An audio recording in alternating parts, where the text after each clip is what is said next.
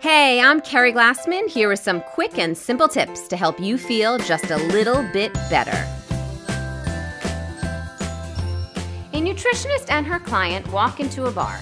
The client asks, How many glasses of wine per night is a safe amount for an adult my size? The nutritionist replies, Well, one or two glasses a night is considered moderation. Got it, the client says. So I'm going to have two to four just to be doubly safe. Ha ha, nutritionist humor. It's a joke.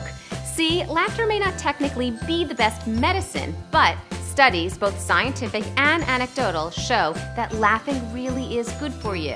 Whether you laughed at that joke or not, I didn't say I was a comedian. You all know how good you feel after you crack up so hard you nearly cry. With all the stress in your life, seeking out a good chuckle isn't necessarily a priority, but it should be.